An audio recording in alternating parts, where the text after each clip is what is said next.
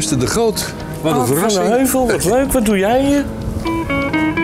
SS Ik wou Rotterdam. eens eh, naar de SS Rotterdam gaan kijken. Die had ik nog niet gezien. Ik ook. En eh, voor iedereen die uit Rotterdam komt, ja, die moet zo'n schip toch gezien hebben. hè?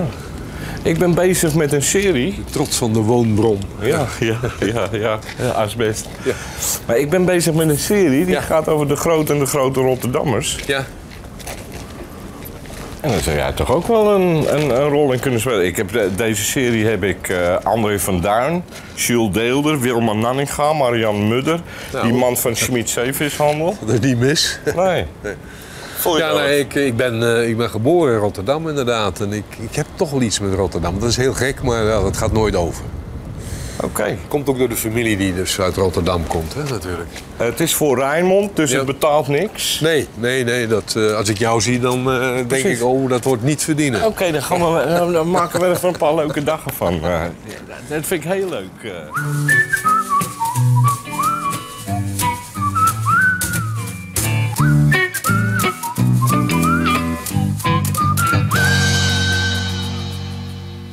Hé, hey, maar kijk nou eens. Jeugdsentimenten. Hey, Ja, voor jou wel. mijn, mijn vader, mijn ooms en mijn neven, allemaal zaten ze op zee. Allemaal op de grote vaart, zoals dat heet. En jij bent tot eh, de Nieuwe Meer gekomen? Ik ben, eh, nou, ik heb eh, in de jaren 50 heb ik nog heel even op het MS Oranje. Maar dat was toch weer Amsterdam en de Maatschappij Nederland. Maar Ja. Die eh, voeren eh, dienst met Indonesië. En eh, vanuit Rotterdam voer dan de Willem Ruis op Indonesië. Dus Ja. we wisselden elkaar af. Ja. En daar heb ik nog een tijdje, een jaartje gevaren. Ja. Nou, ik wil er alles van weten. Nou, dit is dus helemaal jeugdsentiment. 50 jaar geleden zat ik Nog niet op deze. Nee, op de MS Oranje. Dat was nog een MS en niet een SS. Dit is een stoomschip. Ja. Maar ja, veel is hetzelfde. Zo'n brug die je hier ziet, het eh, botendek daar. En hier, Dus, eh, uitzicht op, eh, op je geboortestad. Kijk, het- dit, dit is ook nieuw, maar ja, dit is dan...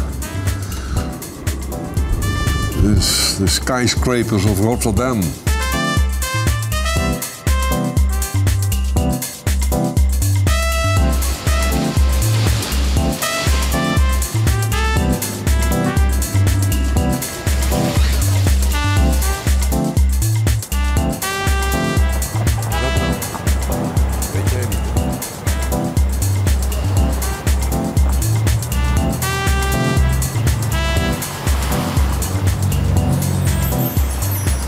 Nou, dit is dus eh, de nieuwe binnenweg.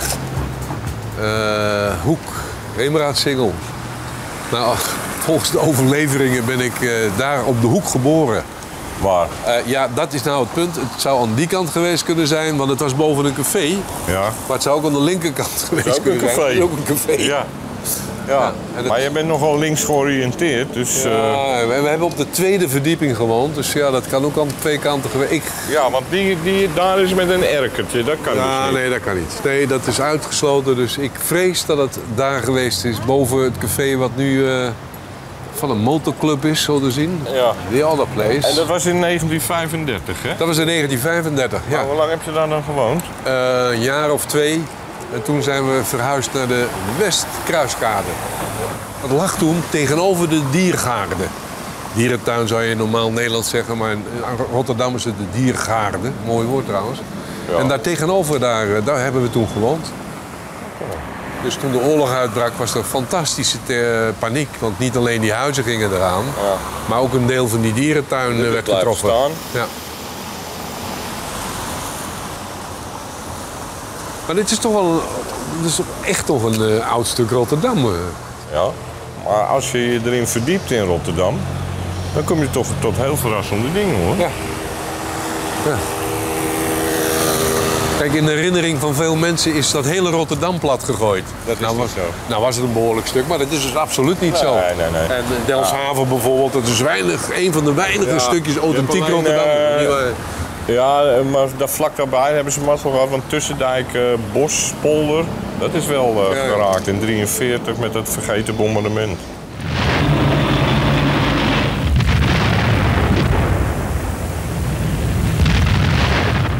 In 1940 wordt die, wordt die stad gebombardeerd en er staan plotseling honderden mensen op straat.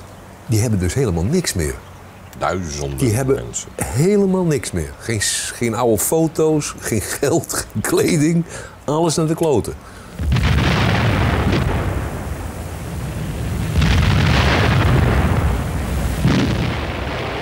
En de eerste bom eh, die was voor ons. Toen zijn mijn ouders daar dat huis kunnen ontvluchten. Ingekwartierd in een school. En de volgende dag zijn ze weer eens teruggegaan om eens te kijken eh, wat er nog te redden was. Dus dat was allemaal weg. Helemaal weg.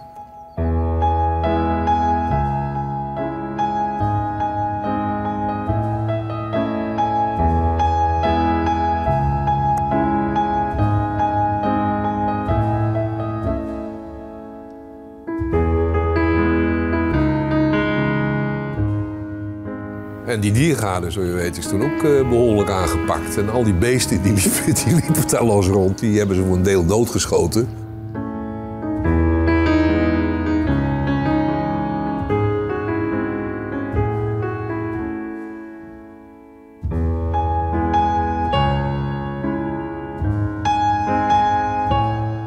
Ik kan me nog herinneren, een raar ding, dat de kachel omviel bij het bombardement. Dat eh, staat mij nog voor ogen. Maar voor de rest, ja, vijf jaar. eh, we werden ingekwartierd in een school. Dat kan ik me ook nog herinneren. En daar hebben we toch een paar weken gezeten. Wij kwamen in die school terecht met honderden anderen. En wat er toen al op gang kwam, was een vorm van naaste liefde. Dat eh, eh, eh, mijn moeder altijd vertelde dat er kleren werden gebracht, eten werd gebracht, speelgoed voor de kinderen werd gebracht. Dus Rotterdammers leefden echt mee met, met, met de slachtoffers van die zaak. Hetgeen niet wegneemt dat er natuurlijk duizenden mensen plotseling van de ene dag op de andere totaal berooid waren. Ja, en- eh, en- afgesneden van eh, geld. eh, je kwam net uit de crisis, dus het zal niet echt dik op de bank hebben gelegen. Nee, dat, en, en, nee, nee, zeker niet. Nee, Nee. Zeker niet. Nee. En eh, het hele verleden van mensen werd eh, op een gegeven moment uitgewist. Die huizen waren kapot, de kleding was verdwenen, de oude foto's waren verdwenen. Ja. Er was dus helemaal niks meer. Nou, hoe ervaar je dat als kind dan? Ja, als één groot, eh, groot raar avontuur eigenlijk. en een avontuur was het natuurlijk een beetje, want in zo'n school lig je daar met honderden andere mensen. Een beetje te meuren en eh, te wachten tot het beter wordt. Daarna eh, zijn we eh, op een schip beland wat, dat in, Amst- in Alblasserdam lag. Een schip in aanbouw. Waarschijnlijk door de oude connecties van mijn vader konden we daar op terecht. En tot de Duitsers op een gegeven moment zeiden wegwezen. En toen zijn we in Sliedrecht terechtgekomen, het Baggerdorp. Waar wij onder andere door de familie Volker eh, liefderijk zijn ontvangen. En waar wij twee jaar hebben, of ietsje minder, in een, eh, wat nu, in een huis wat nu het Baggermuseum is, hebben gelogeerd. En daar hebben we het eh, in een ander huis tot het eind van de oorlog gewoond.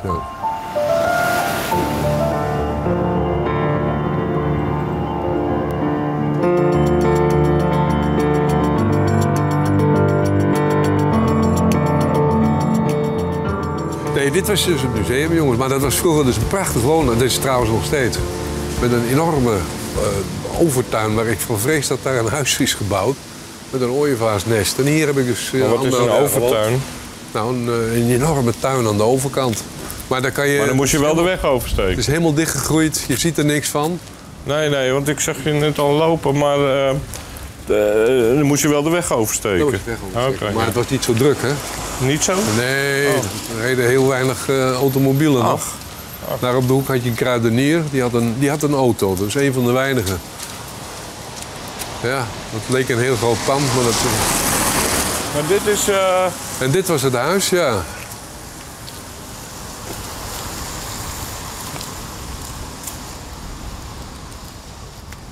Dredging, Bagger Museum. Dredging, wat is Dredging Museum? Dredgen. Wat is dat? Eh, eh, ja, hoe noem je dat? Baggeren en eh, uitdiepen. Zeg maar, ze hadden wel... Hoe groot was jouw familie na het bombardement? Mijn familie was mijn vader, mijn moeder en ik, zijn de gek, met z'n drieën. Oké. En daar ergens hebben wij gewoond, dus Maar het lijkt me ruimte zat. ja, was ruimte genoeg. Niet geliefd als Rotterdammer, Rotterdamse stoepenschijter... die heel erg Rotterdam sprak. En in zo'n dorp lag dat niet goed. Oh, maar dat is nou toch allemaal Ja, dat is meer met elkaar verbonden. Maar toen niet hoor. Toen was het nog allemaal eh, de Drechtsteden, Sliedrecht, Papendrecht, eh Hardingsveld. eh, allemaal heel sectarisch en heel christelijk bovendien. Wat mijn ouders dus niet waren, maar dat is een andere zaak. Mooie tuin.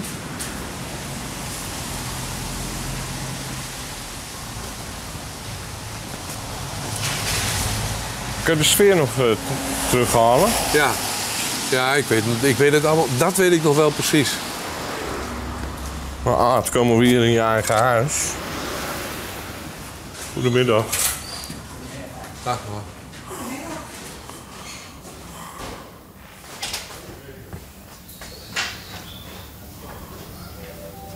Ah, dat is mooi. Jongen, wat een huis, man. Ja, dat is een mooi huis. Johannes Bernhardus Julianus Visser, hier staat dan weer. Oostfrieders Museum. Hier is de voordeur. Yes.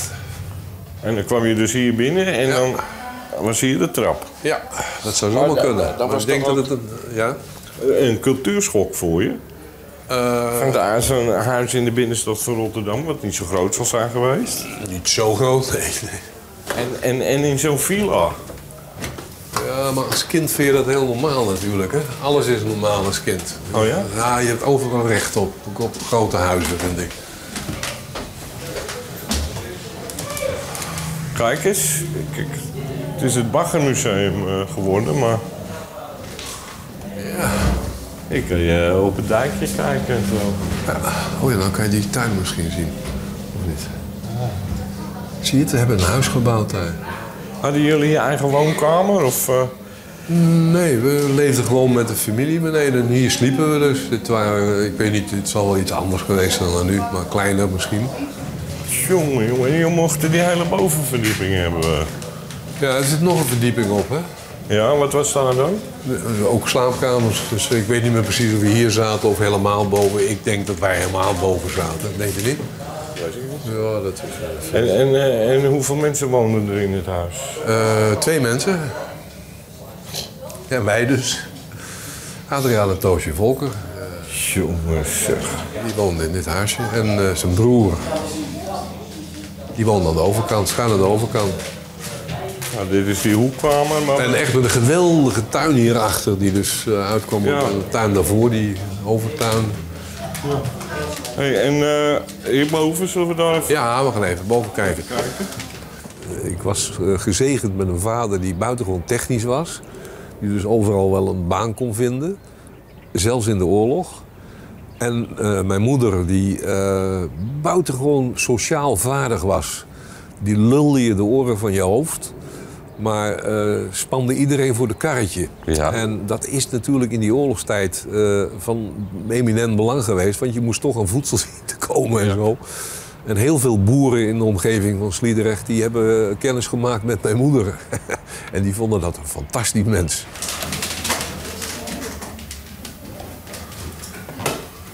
Dit is de laatste. Dat, eh, ik weet niet dat dit veel te bieden heeft verder. Nou ja, we kijken even. Zaal 6. Ook niet niks. Ja, dit is de zolder. Ja, dat is... eh, Dit is helemaal... Dit is de zolder. En er is nog een vliering ook. Wat een huis, joh.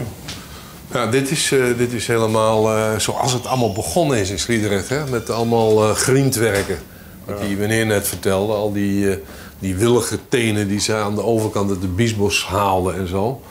En dat werd dan verwerkt tot hoepels en zo. En eh daar deden ze allemaal dingen mee. En waterwerken, hè? dus eh, bescherming van, eh, van dijken enzovoort. Dat waren ook van die riettenen heggen die ze maakten. Vlochten. Eh, het, op zich is het een interessant museum. En ik heb het idee Ja. dat wij... eh, dat, ik heb wel eens gehoord dat mijn grootvader... samen met de oude Volker heeft samengewerkt. En dat... eh, dat op een gegeven moment Volker in, de, in deze baggerwerkzaamheden is gaan zitten. En dat mijn grootvader zei, die dus zalmvisser was in, Rot, in Dordrecht, van daar zag hij niks in. Zo, Klein foutje geweest dus. Ja. denk ik, ja. Ja, Maar ik geloof dat de families daar, eh, eh, daar elkaar van kenden. oké. Ja. Hey, en, en tot wanneer heb je hier eh, gezeten? Erg lang. Tot mijn veertiende ongeveer. Dus ik heb daar wel bijna tien jaar gewoond hier. Maar, daar- maar dit was eigenlijk in de, in de herfst van oktober 1944. Toen woonde jij hier dus, was je negen jaar. Ja, toen Was dit de grens tussen bevrijd en, en niet Nee, bevrijd nee, nee, Nederland? nee, dit was niet bevrijd hoor. Nee, nee, die grens lag aan de overkant. Dus Ja, dat de- bedoel ik. Aan de, overkant van de rivier heb je rivier. de Biesbos. En uit Sliedrecht kwamen dus ook een aantal mensen die eh, van het bezette noorden eh Ja. krosten door de Biesbos Ja. naar het bevrijde noorden. Jan de Landgraaf bijvoorbeeld, een van die beroemde krossers die hier uit Sliedrecht kwam. Ja. Eh, Dat zijn fascinerende verhalen. Als je dat leest, wat daar gebeurde in die oorlog. En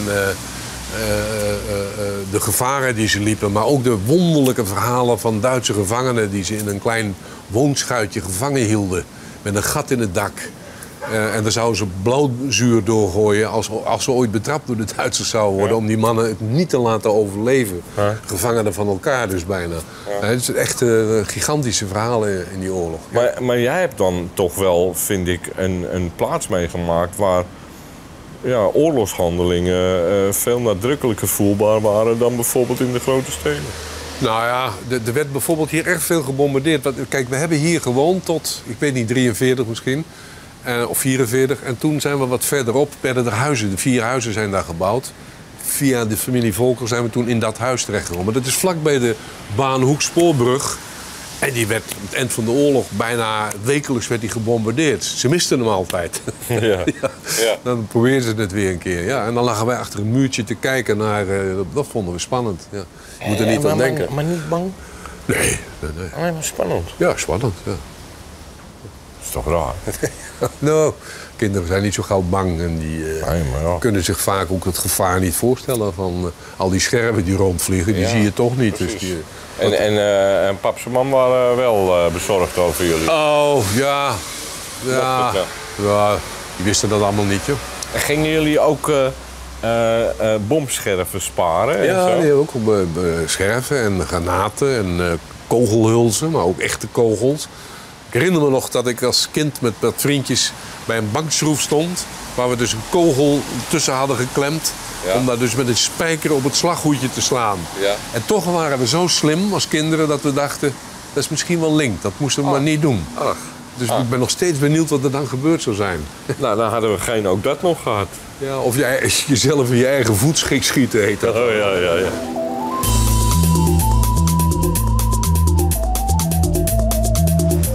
Nou, dit is dus de benedenwerkbeden, vrienden. Hè? Ja. Ja. Kijk waar we nu staan, dat is... Vroeger was die dijk, die liep daar waar die auto's nu rijden. Dit is er allemaal nu... Vanwege de dijkverzwaring en verhoging is dit er allemaal bij gebouwd. En als ik het goed begrepen heb, eh, gaan ze het weer verhogen dus. Ja. Hè? Dus we worden steeds veiliger. ja. En dat was de Baanhoekspoorbrug. En hier eh, ergens lag je dan achter een muurtje? Ja, dan een klein eentje verderop, eh, bij dat fabriekje of zo, of daar net om de hoek. En dan eh, bombardeerden ze hier die, die brug. Ja. En dat lag je dan naar te kijken, ja. Het is eh, tenslotte ook nog, het eind van de oorlog is het gelukt hoor, toen hebben ze hem geraakt. Aha. Na de oorlog eh, zijn wij eh, nog een tijdje in Sliedrecht gebleven. Eh, ik ben toen vanaf Sliedrecht ben ik eh, naar Overveen gegaan, omdat ik sport, eh, eh, eh, sportjournalist wilde worden, kleine jeugdzonde. En eh, toen ben ik naar het Centraal Instituut Opleiding van Sportleiders in Overveen gegaan. En mijn ouders zijn toen, omdat mijn vader een baan kreeg in Amsterdam, bij een scheepvaartkantoor, zijn verhuisd naar Amsterdam. Naar de Nassaukade, meneer De Groot. Ja, dat ken ik wel. Hoe lang is de periode dan geweest dat je in de, in, in de Rijnmond hebt gewoond? In Rijnmond, als je daar Sliedrecht bij zou rekenen en Dordrecht, eh, mag je daar eigenlijk ook wel bij rekenen langzamerhand. eh, Ja. Tot mijn zestiende. Mhm. En ben je daardoor een echte Rijnmonder gebleven? Ja, dat weet ik niet. Ik, eh, ik heb ontzettend zwak voor Rotterdam. Dat, eh, ik heb dat er wel eens met mensen over gehad. Dat is een hele rare bijgedachte die je houdt. Van, dat je toch iets hebt van, ik kom eigenlijk uit Rotterdam. Waarom? Ik heb daar maar tot mijn vijfde gewoond. En daarna zijn we de, de, de, de, rest van de Rijnmond gaan bezichtigen. Ja. we hadden nog wel veel met Rotterdam te maken. Want eh, een deel van de familie woonde daar nog. Hè. Op de Noordsingel hadden we familie. En ergens in een uh, wijk in Zuid, wat ik niet meer weet hoe het heet... hadden we een zuster van mijn vader en zo. Dus we kwamen nog wel vaak in Rotterdam. Maar mijn opleiding en zo is in, in Sliedrecht geweest. Ja. En een deeltje in Dordrecht en de rest in Overveen. En dat was de verbinding naar Dordrecht? Dit is de, de trein naar Dordrecht, ja. ja. ja. Maar uh, uh, daar zie ik industrie en zo. Dat was er allemaal nog nee, niet, toch? Dat was, kijk, dit is de Biesbos dus. Ja. En dat liep dus helemaal door tot aan Dordrecht bijna. Ja. Met onderweg nog een oude ruïne van een, een of ander vreemd kasteel. Maar al die industrie die je daar zit, dat is allemaal opgerukt vanuit de kant van Dordrecht waarschijnlijk hier naartoe. Maar als ik dat een beetje fantaseer, dan, dan was het een soort paradijs waar je in terecht kwam. Ja, want wij gingen als kind altijd of zwommen of uh, met het bootje van Volker, die ik dan uh, meekreeg. Ja. Gingen we dus uh, naar de overkant. Dan heb je allerlei strandjes in die Biesbos. En, ja. Nou, dat is echt een soort Amazonegebied, joh. Ja. Dat is echt fantastisch. Ja, ja, ja. ja. Dus de, de oorlog heeft jou, wat dat betreft geen, wat dat nee, betreft nee, geen kwaad gedaan. Nee, dat, het leven was prachtig hier. Er was hier te eten. Want in sommige grote steden, Amsterdam, Rotterdam, hongerwinter en zo, dat bestond hier toen niet. Bedoel, Iedereen had wel wat. Ja. En brandstof? Oh ja, altijd wel wat hout te vinden, Hout, wat zo, steenkooltjes ergens. Ja. Maar ja, god, het was zonnig sappelen. Er werden ook uh, wat bloembollen gegeten. En, uh, ah. en uh, overal in het land voedsel vandaan gesprokkeld. Maar er waren boeren voldoende hier. Ja, en voor kinderen was en zal het nog wel een paradijsje zijn. Alhoewel, het is nu wel erg verzwaard allemaal. Ja, en erg dicht bebouwd allemaal. Hè? Ja. Er was er wel een soort saamhorigheid, moet ik zeggen. Die, waardoor je geholpen werd. En ja, het was toch een generatie van... Ja, niemand had erg veel. Dus aanpakken. Maar zou je kunnen duiden, zou je kunnen concluderen... dat daardoor het gevoel van... van uh, Rot, het chauvinistische gevoel van Rotterdammers en Rijnmonders... ik reken daar Sliedrecht ook toch toe en Dordrecht... dat dat daar is ontstaan, in tegenstelling tot bijvoorbeeld Amsterdammers, die, een, ja, die hadden de, de, de Jodenweg werden gevoerd, maar in wezen uh, hebben die makkelijker kunnen overleven dan de Rotterdammers. Rotterdammers was puin. Ja, daar lag een, een brok puin die bijna onvoorstelbaar is nu. Ja, je ziet het nog gelukkig aan alle ja, foto's. Ja, ik vind het onvoorstelbaar. Ja. Maar dat, ja, dat moest opgebouwd worden, dat moest opgeruimd worden. Alleen dat puin opruimen is een, is een levenstaak. En ik denk dat daar toch iets van, uh, van, van een mentaliteit is ontstaan van uh, de schouders eronder en een beetje samenhorig zijn met elkaar. Ja, ja, ja en dat dat eigenlijk het chauvinisme van nu uh, nog steeds verklaart. Dat zou kunnen, ja. Het chauvinisme wat in Amsterdam nauwelijks meer bestaat, krijg ik de indruk. Ja, dat klopt. Ja, maar Amsterdam is gewoon de laatste 50 jaar een hele andere stad geworden. Ja. Je kan naar huis hoor. ik ben even met die Van de Heuvel ben ik onderweg. Dat is echt niks, hè? Dit is het uh, uh, uniform toetoep. Zie je het? Lekker, het, voor de tropen is dat. Het is heerlijk. Dit helemaal dicht. Ja, ja, ja. ja. ja. ja, ja. Nee, dat was wel geriefelijk. Ja. Had jij ook zo'n uh, pak? Ja, ja, ja, ja, ja, ja, ja, ja. Ik had... Uh, Heb je het nog, het pak? Nee. Oh. Ik had uh, witte strepen met rood. Wat betekende dat kinderkamer? Administratie. Okay. En, maar het had de, de, de arts, de scheepsarts, had ongeveer dezelfde onderscheidingstekens. Dus ik werd vaak voor de, als arts aangezien. Ja. Oh, leuk. Mooi natuurlijk, hè? Ja. Wel mooi. Ah. Ah. Ah. We gaan, uh, Jos. Mensen schreeuwen en werken daar. Voor mij. Echt hoor, een zeebonk verloren. Ja, maar niet een, uh, niet een under. Nee, dat niet. Dat de rond van boven Amsterdam al uh, problemen op zou leveren.